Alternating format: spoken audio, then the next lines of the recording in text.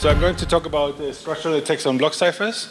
This is a work we, we have been doing uh, since roughly five years, and I'm going to, uh, to go through uh, most of this.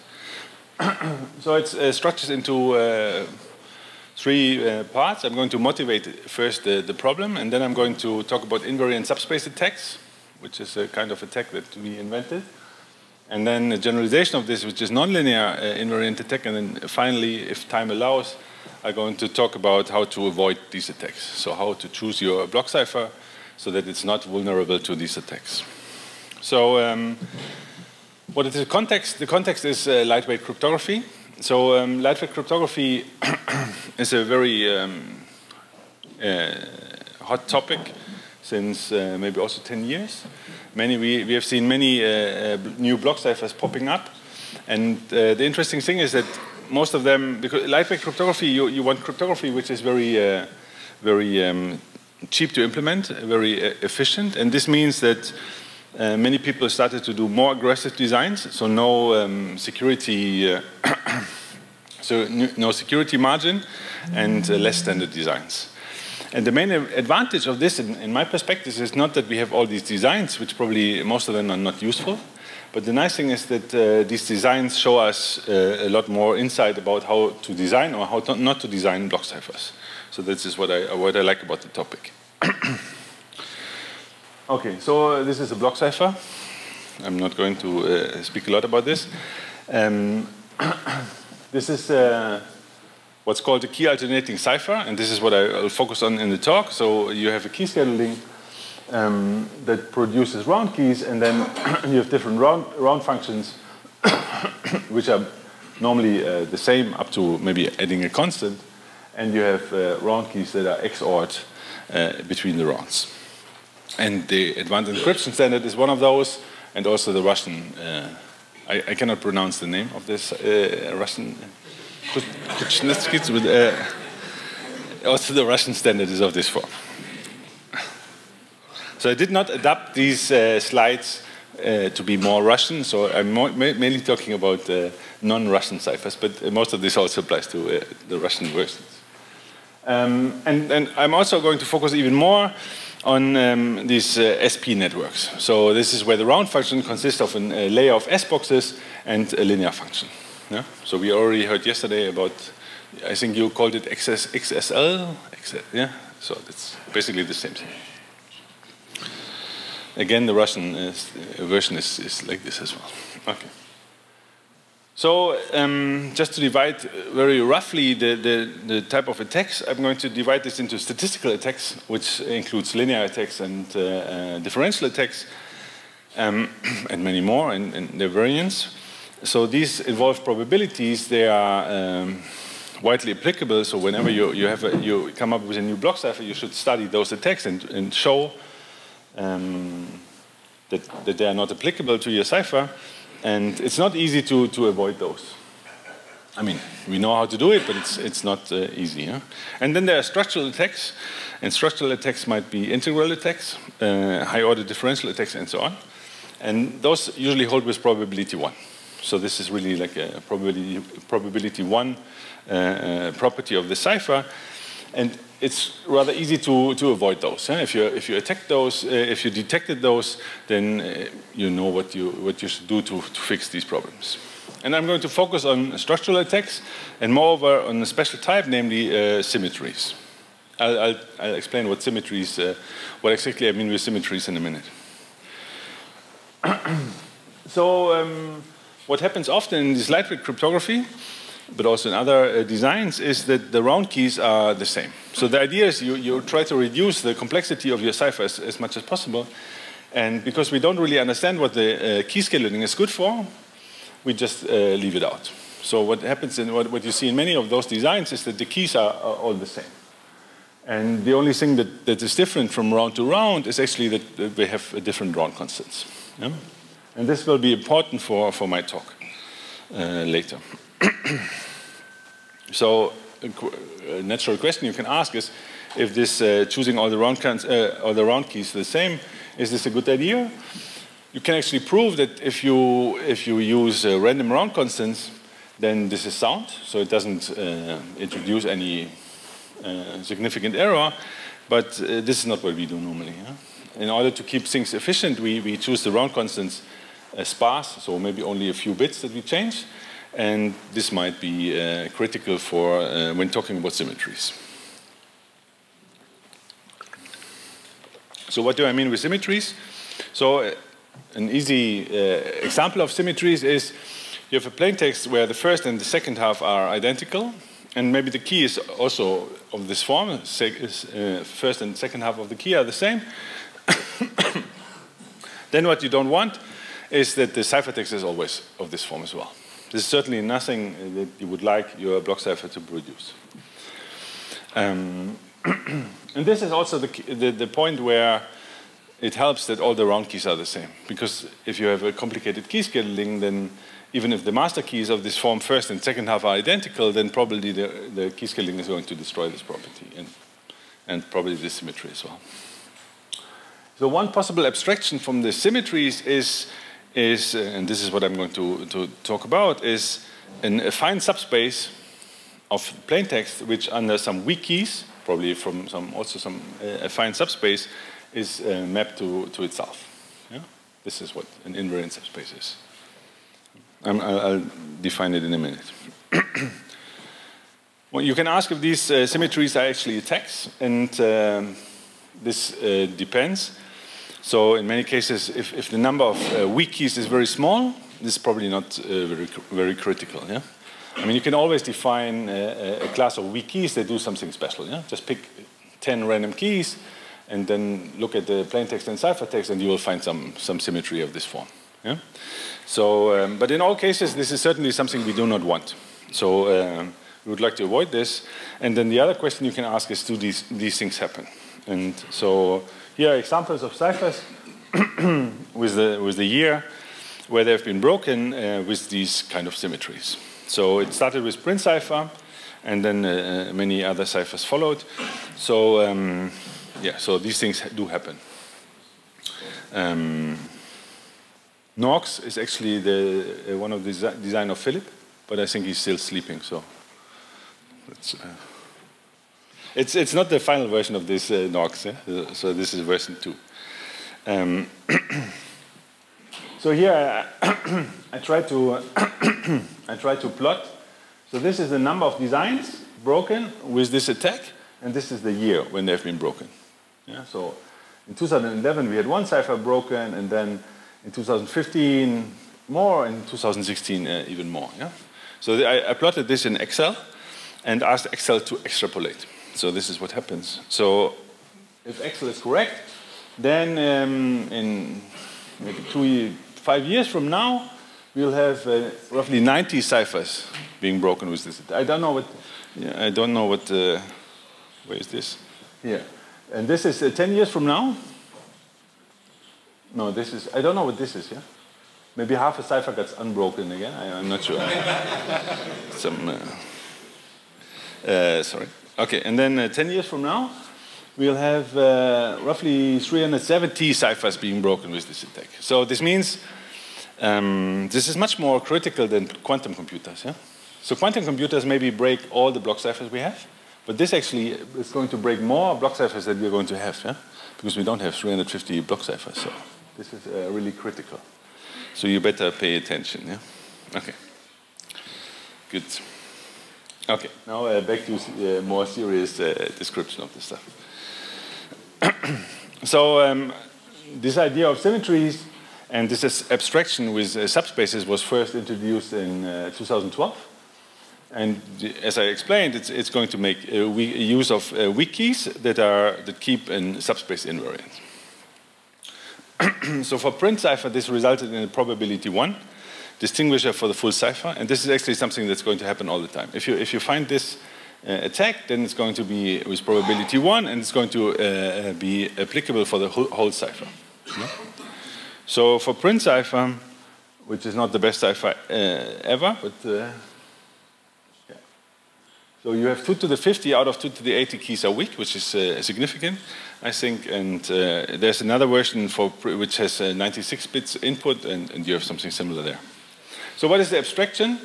the abstraction is that if f is the round function of your cipher, and all the rounds are the, the same, um, and U is a subspace and A is a constant, so this is an affine subspace, a coset of a subspace. This is mapped uh, to U plus B, so a, a, different coset of the same subspace. And then if you have a key which is in this uh, coset, yeah, in U plus A plus B, then if fk is, is the round function including the final XOR after the, after the, the round function f, this means that U plus A is going to be mapped to U plus A. And if all the round keys are identical, this is uh, going to, to repeat for all rounds and the cipher is broken. So one question, for PRINTcipher, we actually uh, looked, I mean, it was just, we found this by looking at the, at the cipher, yeah? which is not very satisfactory because it means you have to carefully look all the time. Yeah? That's uh, annoying. It would be nicer to have an automatic uh, uh algorithm to detect those things. And this is what I'm going to explain next. So here's the idea again in, in, in, in trying to cap capture the idea in a picture. So you have a subspace U plus A being mapped to U plus B, so different uh, coset of the same subspace. And then because of the key addition, it's getting mapped back to U plus A. And then this is uh, iterative. So it's going to happen for all the rounds um, if you have identical round keys. So how, how can we detect those things uh, automatically? So I, in the picture, I'm going to represent as uh, squares or uh, rectangles is always going to be a subspace, while other things are not subspaces. So um, the, the, the idea is that we, we try to uh, find the subspace by guessing parts of it and then uh, mapping it back and forth. And so if, if the guess was not correct, it means that our initial um, uh, points were not in a subspace which is invariant, it's going to recover the trivial solution, may, may, meaning that the whole subspace uh, of n bit strings is mapped to the whole subspace of n bit strings. And um, otherwise, it's going to recover uh, the subspace U. So here's the idea. So the only um, assumption is that, that you have a round function which is a permutation. Uh, so it's very mild uh, assumption. And so you can implement f and f inverse uh, efficiently. And then what we do, we guess uh, a subspace within the subspace. So guess some u some, some part of u. Um, and then you're going to map this using f. Yeah? So you just guess some points, you hope they are in the subspace, and you map them using your own function. So you're going to get some, something like this. Yeah? So if this is already a subspace, you're done. Yeah? Because then you found a subspace which is invariant under f. If this is not a subspace, then you know all this should be included in this subspace U. So you can look at the linear span of this. You look at the linear span, and this is what in the picture I'm going to, uh, yeah, so this is supposed to be the smallest subspace uh, containing uh, all these elements. Yeah? And then you're going to map this back again. Yeah? And you're going to get, again, get uh, some set. If it's a subspace already, you're done. If not, then you're going to look at again at the linear span of this. Yeah? And you're going to map it again, and do it again and again and again. And at some point, this is going to stabilize. If your guess was correct, this is going to stabilize, and this means you found an invariant subspace. So it's very simple. Um, okay, so the, the idea is very simple. And, and of course, there are like uh, details that I'm omitting now. You're not going to map the whole subspace uh, all the time because this is going to be too expensive, but you just map a few random elements back and forth. Um, but basically, this, uh, this is the idea. So it's going to stabilize and, and you find your uh, subspace. Okay, clear? Okay. So what is the running time of this algorithm? It's very simple, but it's actually also quite expensive. So what, what you have to guess, to, uh, the, the, main thing is that you have to guess uh, many possibilities for the initial guess yeah, for your uh, elements in the subspace. So you have to guess the offset, yeah, and you have to guess uh, uh, at least uh, two elements in the subspace.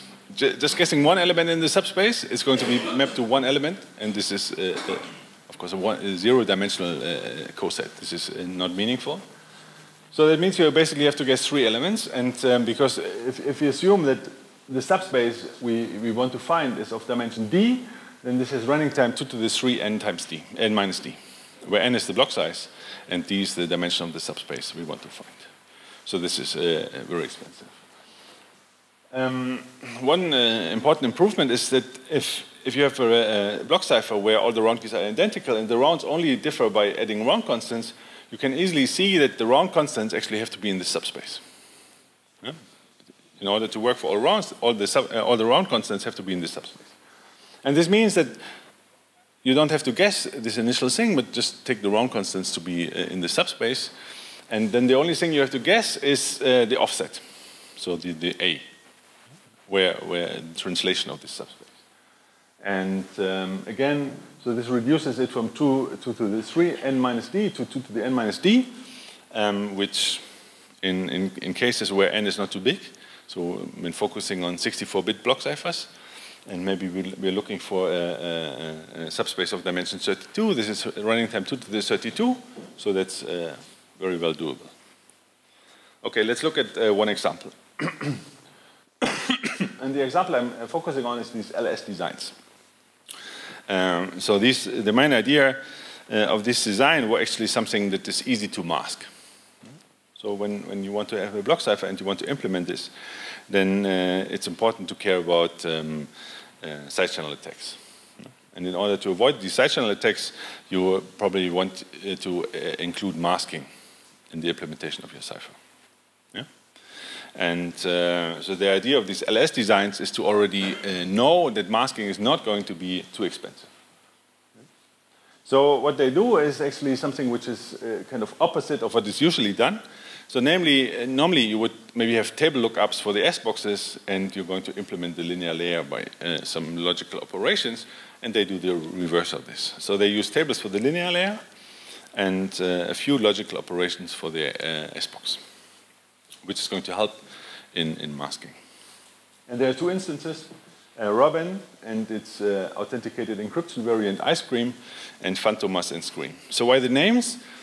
Um, so the ciphers are easy to mask. Yeah? And Robin, you know, the little brother of uh, Batman, yeah? he has a mask. And Fantomas uh, also has a mask. Yeah? Fantomas is the, like the French version, I think, of, uh, of all this stuff. Yeah? So, okay. It's not my idea. Yeah? Um, so this is how it basically works. I'm going to look at the uh, reduced version of this, uh, this stuff. So this is uh, 64 bits, I guess. And uh, one square corresponds to one bit of the cipher. And uh, you're going to store columns in registers if you want to implement this uh, in software. The columns are going to be um, stored in registers. So you have S boxes working in this direction. So you have S boxes applied to, the, uh, to, the, to the rows. And how you're going to implement this? Now, the columns are uh, within a register. So you, you, the natural idea how to implement this S-box layer is bit slicing. And we heard about uh, yesterday about bit slicing already. Yeah? I think you, you talked about this. Yeah? So um, this is uh, how you would implement this, and, and there, therefore it's important that it's only a few logical operations, because otherwise it's going to be expensive. And then you will apply the same linear layer to, to the rows, uh, to the columns, sorry. And this is, columns are stored in registers, so there you can use uh, table lookups. So you're going to apply the same linear layer to all the uh, columns. And then you're going to add constants, and because, as I said, we are not usually not using random constant, but very sparse constant, and this is the case here, so you're going to add your constants only to the upper half of the first uh, uh, column. Okay. So if you apply this algorithm that I talked about, this mapping back and forth stuff, to, to Robin and iSCREAM, it, it's going to detect some uh, invariant subspace of dimension 32. And it's also going to work for Zorro. Yeah, Zorro, guess what? Also easy to mask. Yeah, Zorro. okay. And then, so this algorithm is, is, is, just detecting something, and it's actually detecting a minimal invariant subspace. But then, if you look carefully why this happens, which then is a relatively easy task, you, you will find uh, um, uh, the reason for this attack to work, and it's likely that you can improve it and uh, understand it better, and also avoid it. So here's the invariant subspace attack for, for LS designs. so the, the S-box, the S-box in Robin is 8-bit, and um, the algorithm is going to detect those eight values that are mapped to those eight, val eight values. So this is uh, eight values which are invariant. So zero gets mapped to zero, this one gets mapped here, and actually you find the value here again. Yeah? So this one is here, and so the whole set of values is mapped to this whole set, which is the same. And one way of uh, viewing this as a subspace, it's actually a three-dimensional subspace. Eight values is three-dimensional subspace. So the first bit is arbitrary. Then you have an A, a B, zeros to zeros, and then the same value here again, A, a zero again, and then A plus B here. So if you check carefully, all the eight values are of this form. First bit, I don't care. These bits are zero and zero, and then this bit is zero again. And um, this bit is always identical to this bit, and the last bit is the XOR of those two bits. Yeah? so it's a subspace, a three-dimensional subspace mapped by the S box to itself. Okay, how does this extend to the whole cipher? So if you start with a plain text or a state which is of this form, so it's, it's of this form, so something, some A, some B, 0, 0, the A again, and then C, which is the XOR of those two bits, A and B. Yeah? If you start with a uh, space like this, what's going to happen uh, with the S-box layer? Nothing is going to happen to the S-box layer. Yeah? So you apply S-boxes in, in, in, in, the rows, and because of this thing, this property of the S-box I just showed, this means this is going to be mapped um, to something of this form again. So maybe the A is not the same, and the B is not the same, so I call it alpha and beta now, but the property is the same. And this happens for all the rows, for all the, all the rows. Yeah? So after the S-box layer, you have this state. And now what happens uh, for the linear layer? So the linear layer, remember, is uh, applied, uh, the, the same linear layer is applied to all the uh, columns. And the, the first column, you don't care what's inside the first column. So if you apply the linear layer, you get something, but you don't care. So the next thing is uh, you apply it to this uh, vector with the alphas, you're going to get something else, something. Yeah? So I, I, didn't manage in LaTeX to give this another name, but it's not the same alpha, but it's something different. Yeah? But I, I, didn't manage to, to, to put the alpha prime also. Yeah? Think about this as alpha prime. So beta, the beta vector gets mapped to some beta vector. Um, the, the zero vector because it's a linear mapping, is mapped to the zero vector, so this will stay all zeros. This happens here again. And now the, the important thing is it's the same linear uh, layer that's applied to this column and to this column. So the output is going to be the same. Yeah? And then the zero is going to map to zero again. And because it's linear, and this column is actually the sum of those two columns, the output is going to be the sum of the outputs, just by definition of a linear layer. So that means after the linear layer, you're again in this state. You're again, again in a state of this type. It did not destroy this property. And what happens next is you're going to XOR constants. And uh, the, the problem is that you're going to XOR the constants here. The constants are only here. And this is the, the value where you don't care anyway. Yeah? It, it, has been some value before, and you XOR the constant, it's going to be some value afterwards, but it's not going to destroy the property. So this is uh, why this is uh, broken with um, invariant subspaces. So that also shows that invariant subspaces are, this is not as easy as the first half of the plain text is equal to the second half of the plain text. It's, it's more complicated. Yeah? And so it's important to have this automatic tool to detect those things. Because just looking at the cipher would make you uh, crazy, but probably not, uh, you will not find these things. Okay. Okay, natural question again, can we generalize this attack? Yeah, so this, this works for many ciphers, but maybe we can, we can do more. So there are many possible directions to, to think about. So the first thing you might think, maybe, so now I'm talking about probability one distinguisher. Yeah, actually, the cipher would be broken if you have a probability of 50%. Yeah, that would still break the cipher. Yeah? Um, so a statistical variant would be interesting. Um, maybe a key recovery would be interesting. The prob problem here is that you have a probability one distinguisher for all the rounds. And this normally, uh, if you know how um, uh, key recovery attacks works for block ciphers, normally you're going to guess the last round key and uh, decrypt one round, and then you're going to check if, if some property holds or not. But because you, you have a probability one distinguisher for all rounds, this is not going to work.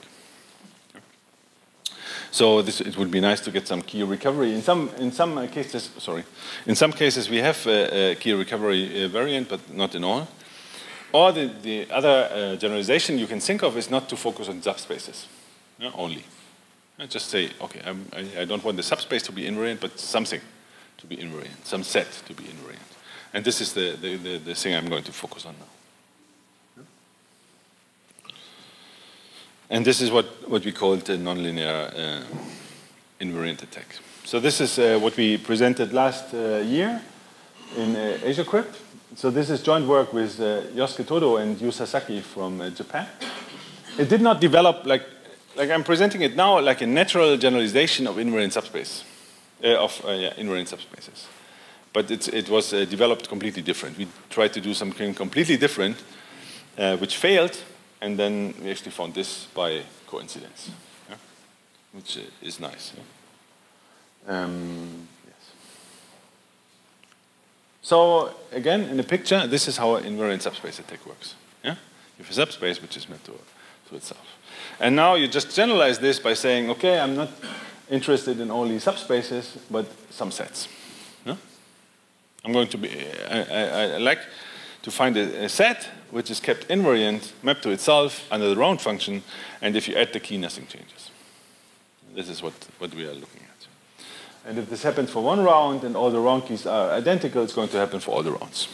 So what could also happen is that actually those two sets get uh, exchanged. Yeah? So that this thing is mapped here and this thing is mapped here. Yeah? That could also, but the key addition could be different and it's the same property. Yeah? It's just, uh, uh, yeah. Okay, so how are we going to capture this uh, uh, mathematically? So now, from now on, I think pictures are over and it's going to be a bit more mathematical. Yeah? So uh, if you didn't follow up to this point, you're lost from now on. if you did follow, I hope you, uh, you, are going to uh, make it through the, the whole thing. Okay, I try to keep it simple. So, so to keep it, uh, to, to what, what is the property that we want? So we are, we are given a permutation f, this is going to be the round function of a cipher or the whole cipher or parts of the round function.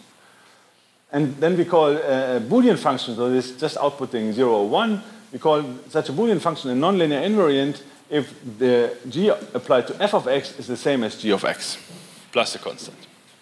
Okay? This is what we are going to call a nonlinear invariant or just an invariant for, for f. So g applied to the output of f is the same as g of uh, applied to the input of, of uh, of f. So what is the link to the picture? So we basically split the whole, whole space f2 to the n of all possible n-bit uh, inputs into parts, namely the parts where a evaluates to 1 and the parts where, B, uh, where, where uh, g evaluates to 0. Yeah, so the support and the, and the complement of the support. And then the property says that this a is invariant under f. So f of a is f, f of a is a and f of b is, is b. So it's invariant under the application of the round function. This is the case where this constant is zero. And if the constant is one, they are just flipped. An element in A is going to be mapped to an element in B and vice versa. Yeah? This can only happen if the size, uh, the size of A and B is uh. So I'm not talking too much about this uh, constant here. So basically you can focus on just this thing. So this, this captures the, the uh, invariant of uh, sets. So if you, I'm not going to uh, explain in detail how you find these, these things. Yeah? So um, I, I skip this part. Yeah? But there we, we, we come up again with algorithms and ideas how to find these things. Because, I mean, one important thing is it's easy to generalize all these attacks. Yeah? You just write down the most general thing you can come up with. Yeah? The problem is it's going to be useless. Yeah? You just say you want some property to hold with some probability for some rounds. Uh, this is not useful because nobody can detect these attacks, nobody can find these attacks, and nobody can uh, work with these attacks. You have to, if you want to define attacks, you, you have to also find a way to find those attacks this is, uh, this is what we do here in, in the paper, but I'm not going to, to uh, describe this too much. So the nice thing is that it actually leads to attacks to uh, iSCREAM, Midori, and Scream. Actually, only to the last version of Scream. So Scream is, is, is a candidate for, was a candidate for this CAESAR competition. This uh, competition for authenticated encryption. And uh, so the first two variants were not vulnerable to this attack, and then they changed something and it became uh, vulnerable to this attack. So um, this attack, which is first only a distinguisher with probability 1, actually it can be uh, uh, um, converted to something which is much stronger. Namely, it's a ciphertext only attack that recovers the message. It doesn't recover the key, but it allows you to uh, very efficiently uh, decrypt. So the assumption is that you're using this in, in some mode, and almost all, are uh, vulnerable. Um, and the idea, the, the assumption is that you encrypt the same message multiple times, which is a very mild assumption compared to all these differential attacks where you're allowed to choose the plain text. Yeah, this is uh, very mild. Uh, one idea is you, are going to get the message encrypted and, and, and, you just send an error message, please send it again, I didn't receive it. And it's going to be encrypted again and, and you're going to, to uh, practically uh, be able to do this attack. And the complexity of, of, of, this attack is very low. So in this table, I'm going to uh, I, I show how many weak keys you have. Again, it's a weak key attack, so it's not going to work for all keys, but for many. So Scream, for example, has 2 to the 128 keys, and 96 out of them are, uh, are weak. 2 to the 96 of them are weak. You will be able to recover a, a quarter of the bits of the message.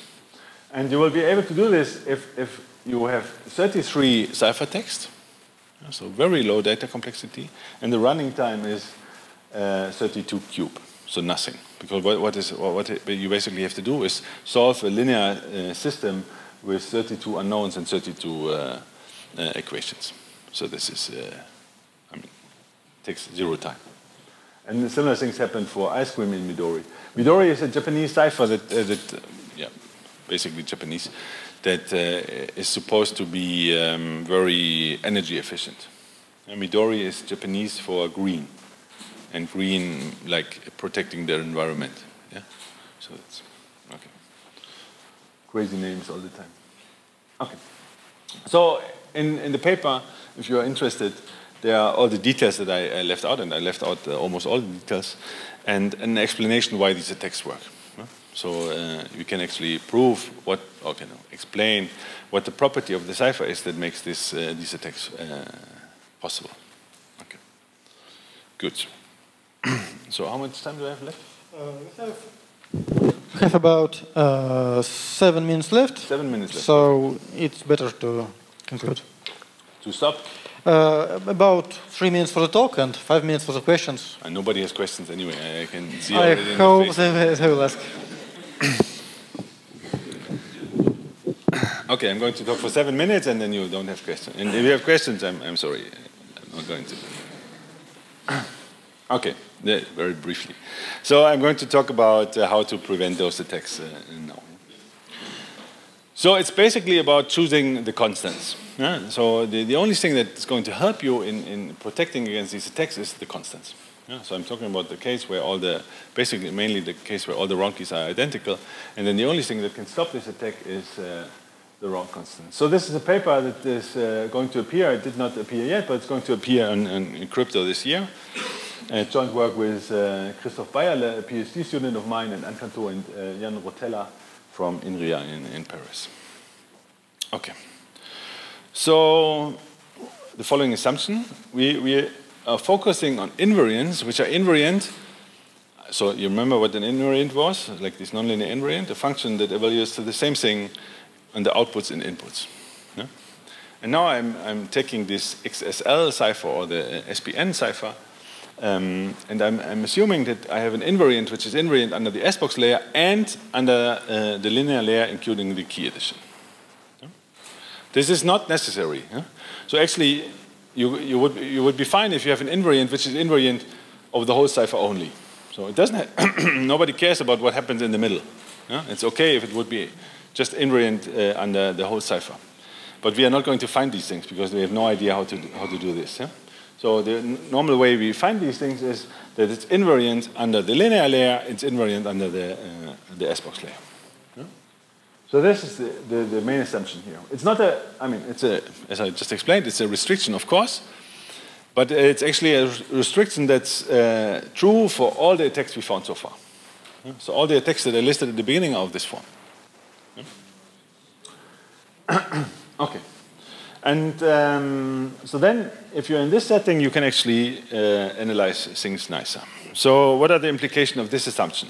So we have, remember, so the main thing, we have something which is invariant for the S-box layer and invariant for all these linear layers, including all the key additions. Yeah, that's the assumption. Okay. So what does it mean? So assume we have two round keys, yeah? ki and kj. So this is ki, and this is another round key, kj, in another round. So the G we are looking for is invariant under uh, both these uh, linear layers with the key addition. So what does it mean? It means that G of L of x plus k, ki is G of x plus some constant, and the same is true for uh, uh kj, yeah, by definition of invariant. And if these things happen at the same time, and we assume they have to happen at the same time, then you can actually deduce that G of y plus the sum of those two keys is g of y plus a constant. Yeah? What does it mean? It means that this is um, a linear structure of g. Linear structure meaning that the derivative, this is something like a der derivative. If you move the gy here, yeah, you get g of y plus some constant plus g of y is constant. Yeah? So this is what we, what we in Boolean functions denote by a linear structure. Yeah? A derivative which is zero. So this means that this thing is a linear structure of G. And this should be true for all differences of all possible round keys. Yeah? All these uh, things have to be linear structures. Um, okay, and you can do more. So, I mean, in the setting again, so we just saw that the linear structure of G, I'm going to denote this by LS of G, which actually is a subspace of uh, all the elements. This has to contain this difference of, this, uh, of, this, of the round keys, and you can also easily show that this has to be invariant under L. So this is a subspace that has to contain all differences of round keys, and it's invariant under the linear layer L. Okay? And if you look at the most simple key scheduling yeah, that, I, that I'm focusing on all the time, actually, so the round keys are identical up to a round constants. Yeah. So in this case, if I look at the XOR of two round keys, it's just the XOR of these constants. Yeah? Anybody still following? Or so I can also stop if nobody is listening anymore. Okay. okay. So we are looking at all, in this case, we are looking at all differences of these round constants that we have. And then we have to look at the smallest subspace, which is including all these constants, and invariant under L. Yeah? This is what I'm going to uh, denote by WLD. Yeah? The smallest subspace, which is invariant under L and containing all these differences of the round constants. Because if I have an attack, then this subspace must be included in the linear uh, structure of G all, this, all these differences have to be included, and it's invariant, so all the uh, L of these things have to be included as well. Another question is, can we find a non-trivial uh, invariant G for the S-box layer? So far, I'm not talking about the S-box layer. It's only about the linear layer. Yeah? Such that I have this subspace being a, uh, a subspace of the linear structures of G. So what is the idea? The idea is if, if this dimension is big, if you have a large dimensional space, a large space which is included in the linear structures, it's very unlikely that this, uh, you find a Boolean function with this uh, linear structure. So the easiest case is if the dimension is n minus 1. So I have a block cipher of dimension n, and I, I, just by looking at the linear layer and my constants and the smallest invariant subspace, which is easy to compute uh, under, uh, under L, if this has dimension n minus 1, or larger, n minus 1 or n, I know that my cipher is not, uh, not uh, broken by this attack. Why? Because if I have a, a, a linear structure, uh, if I have a Boolean function g, which has a linear structure of dimension n minus 1 or n, then this actually means that g is linear. It has at least, or more precisely, it, it, it, this s has a linear component. So, but I, am not going to have a linear component in my S-box uh, layer because I'm not, uh, I mean, unless you do something very stupid. Yeah? Then your S-box is not going to be, uh, not going to have a linear structure. So this is very easy to, to prove that uh, for some ciphers, LED and skinny, for example, just to, uh, and I guess, I didn't check, but I guess for, for this Russian uh, yeah, thank you very much. you can do the same thing, and I'm pretty sure that the same argument uh, immediately tells you that this cipher is not going to be broken by this attack. Um, okay, so in some cases it's very easy. Uh, what to do in, in other cases? So we, we, we have a general, more general uh, theorem that actually say, tells you about what, what is the best dimension that you can uh, achieve. Yeah? So you're going to pick these round constants or the differences of the round constants, and, and you are interested as a designer to make this dimension of the space as big as possible. Yeah? Because if it's uh, uh bigger, then it's less likely that it's going to to be applicable. Uh, or in the best case, you want this to have dimension n or n minus 1, and then you're done. So we can show that actually the maximum dimension of this space containing these uh, constants or the differences of the constants, so for t rounds, is the sum over the degree of the invariant factors of L. So invariant factor, if you don't know what this is, it doesn't matter. Yeah? Something. Something which is easy to compute from the linear layer. Yeah, so there's something like a rational canonical uh, normal form, and you compute this for your matrix, and then you can read uh, the degree of these uh, invariant uh, factors. Yeah? So this is uh, uh, some algebra stuff that, that, okay, that just works, and it's easy to compute. Yeah? So that means if, if, you, if, I, if you give me a linear layer for your block cipher, I can easily check what are the, the, the best possible dimensions for your round constants to avoid this attack. Um, so it's really uh, important to study these invariant factors of the linear layer. And this is going to explain you how many rounds you need, how many different constants you need to, to get the full dimension. It's also going to explain how you should choose your constants. And I'm not going into in those details, but it's going to explain you how to choose them. And the nice thing is it works independently of uh, the S-box layer. Yeah? So this is really a property of the constants and the linear layer. And if you put these things together, it's going to work for any S-box. Um, so here's another, uh, an, another, this is the final slide, yeah? Just to... Uh, uh, we'll, we start a little later than we planned, so I think we'll have uh, about two minutes more. So okay, I need only please, one. Please continue. um, so here, what I show here the, on this slide is the number of constants or differences of constants on, the, on this axis, and the probability that you're going to get the full space, which is 64 in this case for all these uh, ciphers. Yeah? It's all 64-bit block ciphers. So for example, for LED, even if you have one constant, the probability that you have uh, the full space with one constant is, is very high. It's not one, but it's close to one. So the, the, basically the only constant which you should not choose is the all zero constant. Yeah? But if you choose the non all zero constant, then, then you're fine. Uh, for skinny, if you, have, uh, if you have less than four constants, you're not able to span the whole space. Yeah?